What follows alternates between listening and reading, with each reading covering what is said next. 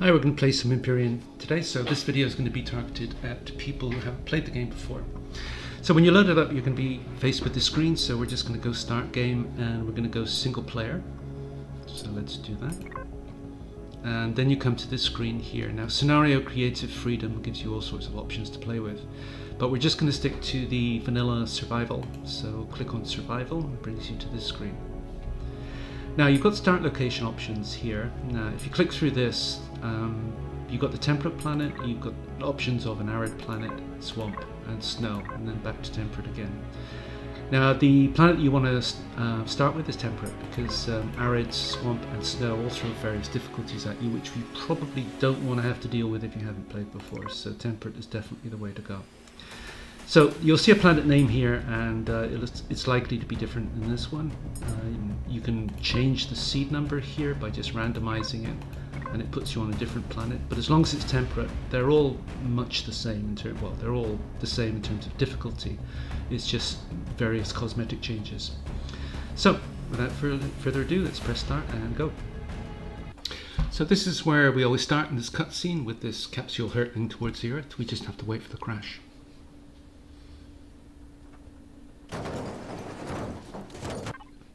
So after the crash, we're faced with this screen and uh, emergency situation detected. Um, protocol, blah, blah, has been initialized.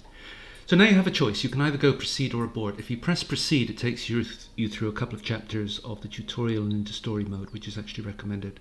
It's pretty good. Um, the abort just takes you out of that and leaves you uh, to do what you really want to do. So I'm just going to press proceed and then what I'm going to do is short circuit the tutorial because I don't want to follow a few of the steps and I want to do things in a and we'll see how we do that in a second. How we do that in a second.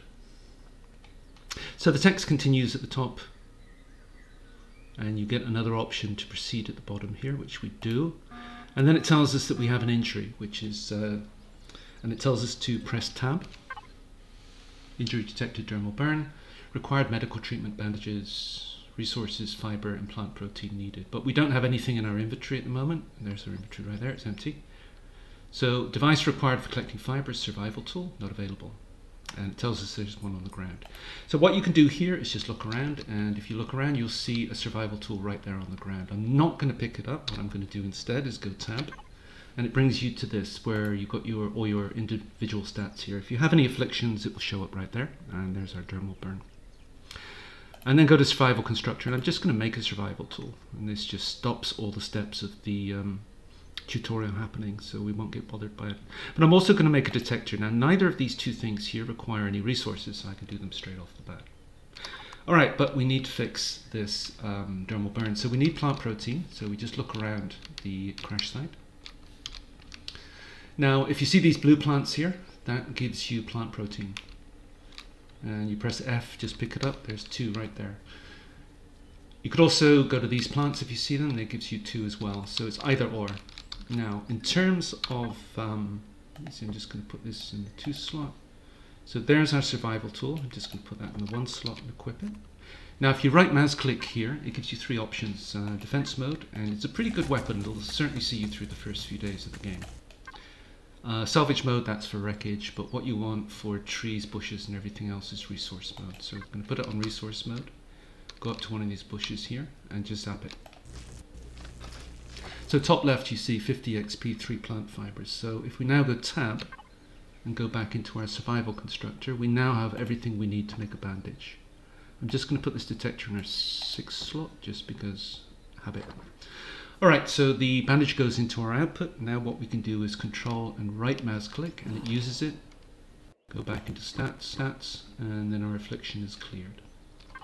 All right, so what we want to do, um, if you pick up any plant, I'm just going to pick up as much plant protein as I can see, but if you look in the top left there, you get 100 XP for every single plant you pick up. So what you want to do to level up as quickly as you can is just pick up every single plant you can see.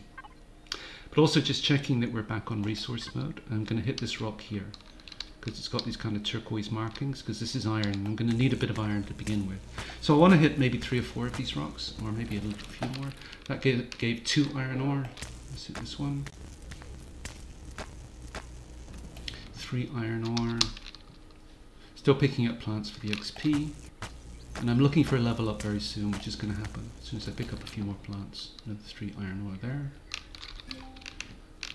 So there's our level up, level 2 reach. So now what I'm going to do is I'm going to go tab, sorry, I'm going to go F3.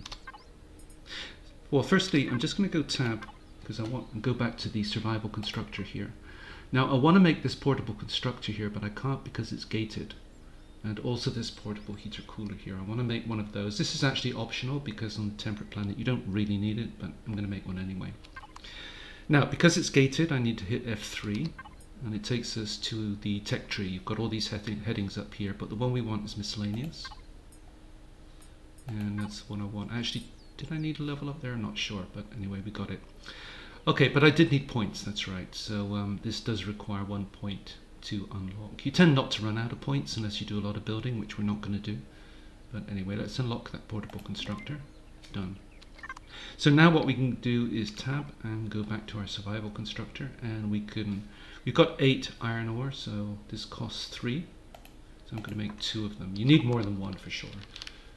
But um, I actually want to make three. Because what happens is uh, you spend the early part of the game dependent on biofuel. And uh, we'll get to make that later, but it ties up one of your constructors completely. So I want to make three for that reason. And as you see it, see it takes a while. Alright, so what we're going to do in the meantime is just keep uh, do I need more iron? I'm not sure. I'm just going to take this one just in case. Alright, then I'm just going to keep picking up plants because I want to keep leveling up and this is just the quickest way of doing it. There's more iron. I'll take it just in case. I don't think I need this.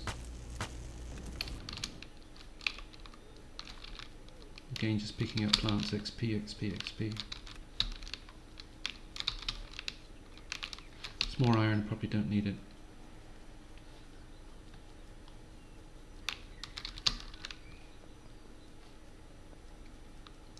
Sometimes you get a lot more plants around than this. So the only ones we really need early on are, um, it's just plant protein. You get other plants which we will need for to make meds later on, like herbal leaves. We're only going to pick it now just for the XP. Um, we're probably not going to use them. Now one other thing, just checking we're in resource mode, you're going to need a fair bit of wood because making biofuel takes a long time. So um, we're going to want to start making that as soon as possible. As mentioned, it will tie up one of our uh, constructors. Alright, I don't see a lot of plants to pick up around here, so what I'm going to do is... Um, Alright, equip our detector and let's just ping it and see what's around us. So discover wreckage, that be, you discover things when you get relatively close to them, but if we go M for map now, then it basically picks up everything the detector picked up. Now these um, icons here are resources as it tells you. Now these with the question mark, they can either be wreckage, um, you see that one we just discovered because we got close enough, or it can be um, other things like a spider's nest. If we just look around us, there might be a red one. Yeah, there's a red one. That's a spider's nest. So just pinging again first. So that one there uh, is a spider's nest. It's close to the resource. Uh, we don't really, we can handle um, the spider's nest with the weapon we've got. The survival tool is pretty handy, but we don't really need to go there for any reason, so we'll just avoid it if we can. Now if you look at this resource here, we, what we want to do in the first day is hit up one iron resource, one silicon, and one copper. And that's going to give us all of the resources we need to go into day two and start making weapons, um, armor, and all sorts of other things. So I just need to keep pinging to keep them, things on the map. Now this resource here, um, this is Talon territory, the area that's shaded green. Now if you hit this icon up here with the factions, we haven't discovered them yet. As soon as you run into a pack of them, then they'll show up here and it'll tell you that we are neutral with them, so they're not enemies, and it'll tell you what reputation points we've got. Now the thing about this resource here is after you've discovered the Talon, if you then mine this resource, you're going to lose reputation points. If you mine that resource before discovering them, you don't lose reputation points. So what you want to do is kind of try and sneak into their territory without discovering them and uh, try and mine before you bump into them, any of them. If you bump into them, as mentioned, um, we're neutral, so we are not going to end up fighting, but then you start losing uh, reputation points. Now these without markings, that's just general stone. We're going to need a lot of that in the next few days, but uh, not right now. So, um, yeah, those dinosaurs aren't aggressive. Most dinosaurs aren't. There are one or two that can be. So I'll mention if we just run into any of those later on. Again, just XP, XP, XP with the plants. All right. So just pinging again, there is only one of these um, things that we want to discover, and that's something called the large wreckage. We'll go to this one, the damage com section on day two, because that, we're going to set up a temporary base there, but that's not till tomorrow. So we want to find the large um, wreckage. Now it's not that one because it is actually labeled large wreckage. The way it works is it's usually out by itself and it's the one furthest away from the escape pod. Now this one isn't furthest away but it's out by himself and I'm guessing that that is the one. So we need to turn left this way. So just picking up plants we just hit level 3. So what I'm going to do is go F3 again and go to miscellaneous again and then unlock this portable heater cooler. Done. Go back to my survival constructor. Uh, these have been, now been made. I'm just going to put them down here. Put this over there. And I uh, want to make a portable heater cooler. So let's get that going. It's really cheap to make, as I said, it's it's only one iron ore. Alright, so let's um, just ping and head over to this thing over here. I think it was in this direction, wasn't it? Think it's slightly to the left of that. Yep, this way. Yeah, so you can ignore these guys as long as you don't shoot them. Well, I think even if you shoot them, they just run away. So this is likely to be the large wreckage that we're going to see. So the wreckage I tend to ignore. You do get chests in each uh, wreckage. Uh, they could be above ground. Yeah, that's the large one. They can be above ground or below ground. Uh, if it's above ground, there's nothing really too valuable in the chests, in the cargo boxes that you find. So this is really the only one that um, I tend to visit just because it's got a, a, bunch more stuff than the others. So you tend to get these like crab-like creatures. Um, so I'm going to equip the survival tool, go into defense mode here. I don't know if it's going to have them or not, but they tend to come in groups of five. You can handle them very, very easily with the uh, survival well, survival tool when it's on weapon. Not seeing any. Oh, we don't mind meeting them because uh, we get to kill all of them. Yeah, this is the large wreckage. Because we get to kill all of them and uh, it gives us 320 XP for every single one we kill. Nope, not seeing any. Because when they attack you, uh, they tend to line up and all you have to do is walk backwards and just zap them. And then they don't touch you. Alright, so um, let's get up here. So the reason we want to go to the large wreckage is to find these uh, three joined closets here because it has a bunch of stuff in which includes a motorbike. So we could take all the resources by clicking here, but we'll tend to use a lot of this stuff to build a weapon and armor on day two. Alright, so that's the Talon over there, and they're the guys we want to try and avoid discovering. As I said, we're friendly with them, but um, I don't think we discovered them. It'll say here if we do. No, we didn't. All right, so anyway, let's uh, just ping the detector because what we want to do now is go mining. So it tells us where the resources is, just M for map again. So this one, yeah, let's try and go over there and see what that one is. 342. Yeah, as long as, as soon as you get close enough to these guys, you discover them, and uh, as soon as we do that, then we're going to take a reputation hit for mining this resource because it's in their territory. We can avoid that by um, not bumping into them as rock again. But I do need, um, back into resource mode, I do need some more wood before we settle down into the mining.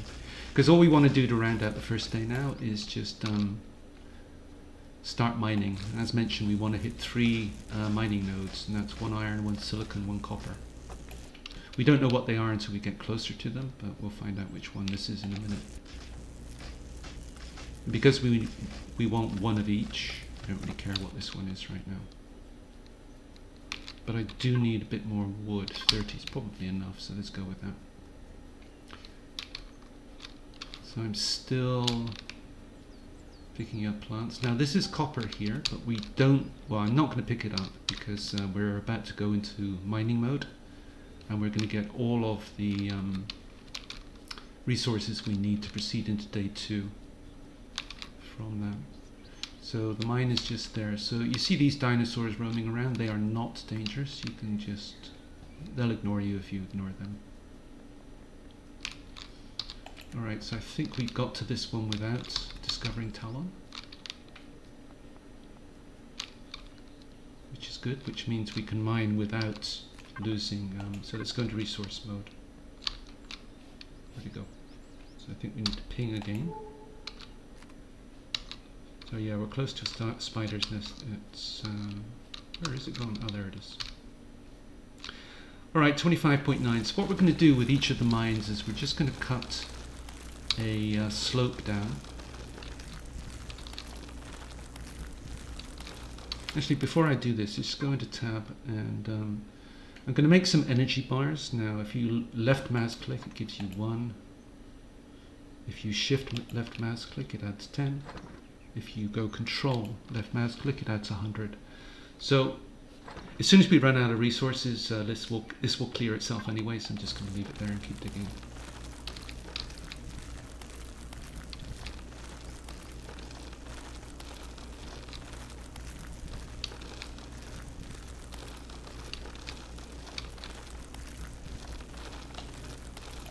Alright, so there's a nice slope. Um, so now what I'm going to do is just going to cut a little room to the side here.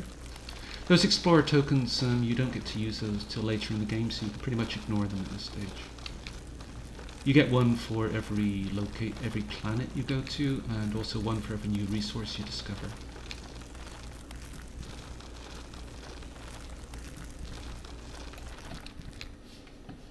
Alright, so this is where I'm going to mine from. Now we're pretty close to a spider's nest. Now the spiders can path down here and attack.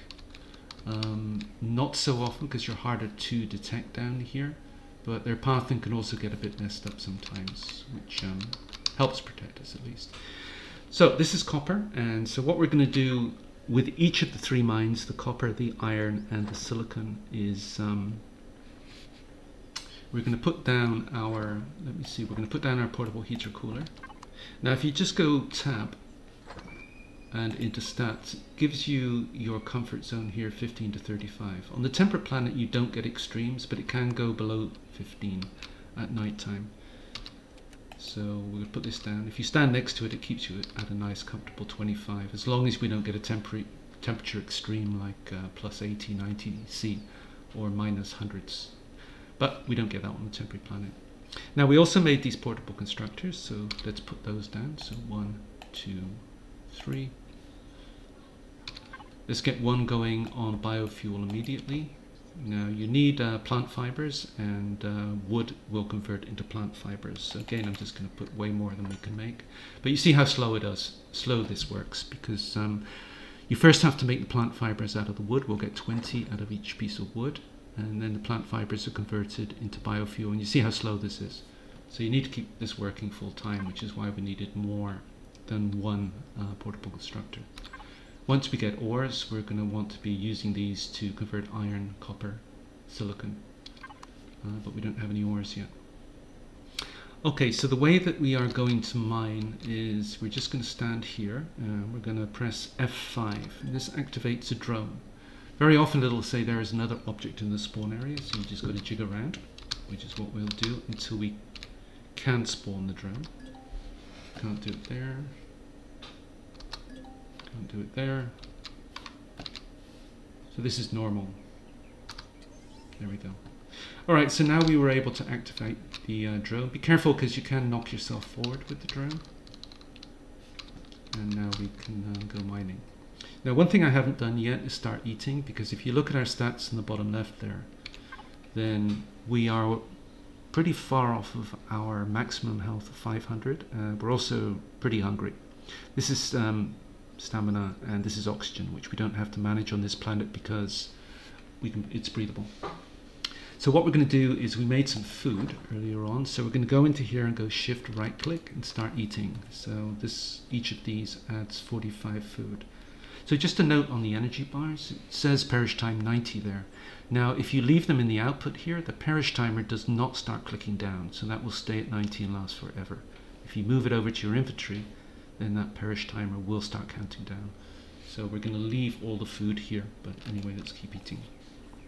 So 252, you've got a bit of a cool down after each meal, so it takes a little bit of time to get all the way up. But let's do this. 386, 431, 475. Now, as soon as you go over 450, then you're going to get a message up here saying you feel very comfortable and satisfied. But what that means is that you start to gain health. So what we want to do is we want to keep our hunger bar over 450 while we're doing all our mining. And um, that will mean that our health will click up to the maximum. And we're going to find way more food than we need, so we can just um, make sure we're at 500 before we start the mining. So let's do that. Okay, we're in drone mode. Uh, we can change weapons or whatever. So let's go one, go into resource mode, and there's the copper down there. So let's keep going. So just checking with tab, uh, we haven't discovered the talon yet, so we are not going to get reputation loss for doing this mining. Now, if you have discovered the talon, and um, let's just go to M, and you end up having to mine a couple of small mines here, even if you have discovered them, you can absorb the rep reputation loss without too much problem. So it's not really such a big issue. So this is the copper here and it's small so we'll probably get about two 300 copper ore out of this and then we'll be able to convert that into um, 500 or so um, ingots alright so just unequipping the um, drone again. So that's pretty much it for the first day because um, if you look in the top right there you've got this clear gr grassland and a picture of a sun with an arrow pointing down.